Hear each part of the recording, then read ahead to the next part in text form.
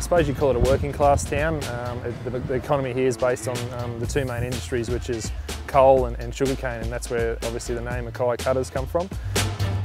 When I first came here, I, um, you know, uh, I probably didn't think that I'd stay that long, but um, you know, the, the, longer that I'm here, I'm, I'm, you know, I'm enjoying it. Yeah, exciting news that was um, basically announced uh, last year that uh, the federal government uh, are giving us $8.8 million to, to build a new stadium.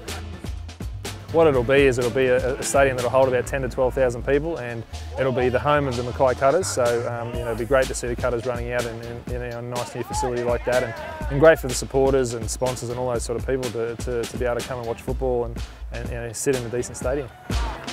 So I hope that in five to 10 years time is that the Mackay Cutters are the leaders of the Queensland Cup, not only just in on the field but also in the facilities that we have off the field and the sponsors and you know and hopefully the culture that we're creating.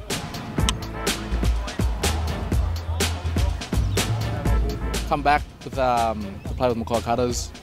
Got the opportunity to come back here, they um, named me captain in that.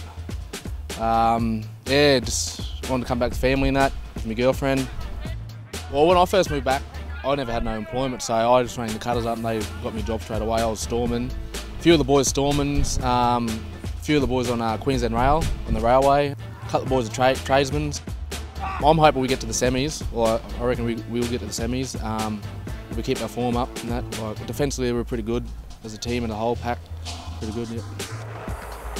We're a feeder team to the North Queensland Cowboys, and the players come down Friday for one session, and you know sometimes we have anywhere from one or two players up to seven or eight, which we did last year, and you know to, to get maybe a third up to a half sometimes of a team for one training session it is hard and we've had a, a real focus on a, a, real team environment this year and uh, do something for someone else, whether that's on the field or off. And you know, I think that it's showed in how we've sort of started the year as a team.